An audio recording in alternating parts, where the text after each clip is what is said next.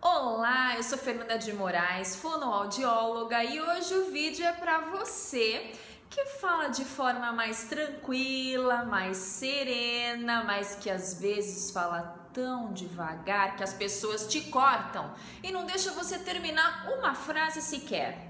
Ou ainda, você já presenciou ir numa palestra, numa aula em que o palestrante é muito bom, mas que fala também tão tranquilo e sereno que a gente até admira no início, mas depois começa a bocejar, olha o celular, olha o relógio, porque o tempo não está passando. Confira três dicas para tornar sua apresentação mais dinâmica.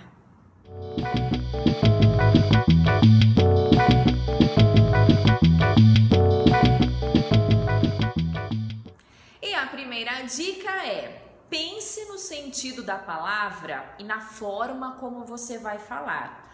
Por exemplo, nossa equipe de vendas precisa ser mais dinâmica na abordagem com os clientes. O que, vocês acharam? Combinou ou não combinou? Parece meio estranho, porque a palavra dinâmica exige certo dinamismo. Vejam agora o segundo exemplo. Atenção, nossa equipe de vendas precisa ser mais dinâmica na abordagem com os clientes. Mudou alguma coisa? Bastante, não é verdade? E a segunda dica é observar as pessoas que estão ao seu redor, seja numa aula, numa reunião. Quais são os sinais que o público está emitindo? As pessoas olham o tempo todo no relógio, pegam o celular, começam a ter aquela expressão de desinteresse. Tá na hora de agir diferente, de tornar sua apresentação mais dinâmica.